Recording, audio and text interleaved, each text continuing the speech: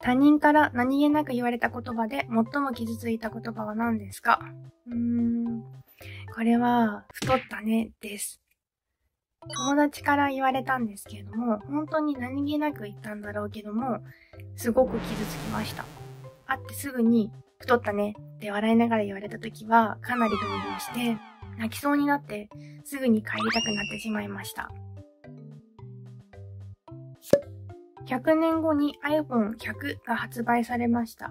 新しく追加された機能とは想像でお答えください。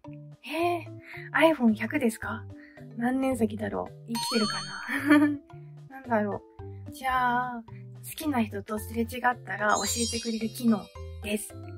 結構みんなやっぱり恋愛で悩むじゃないですか。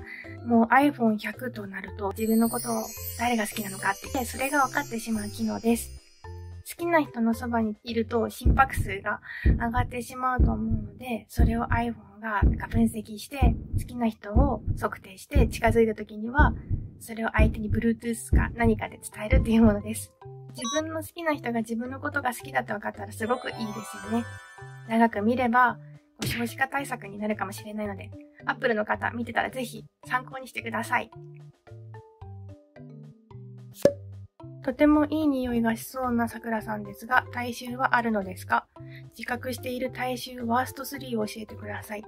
いい匂いしそうですか、嬉しいですけど、匂うところはちゃんと 匂います。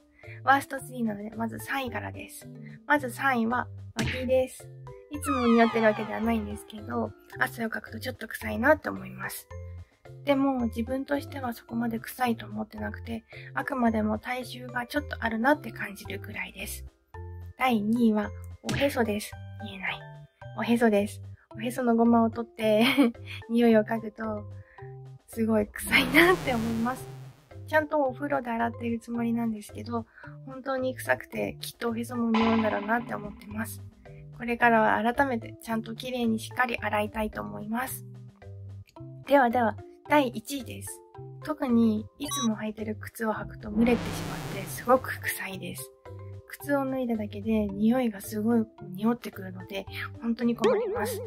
あまりその靴を履いた時に足元の近くに人がいないでほしいなと思いますし、靴を脱いだ瞬間すごく匂うので、脱ぐ時は人がいないと嬉しいです。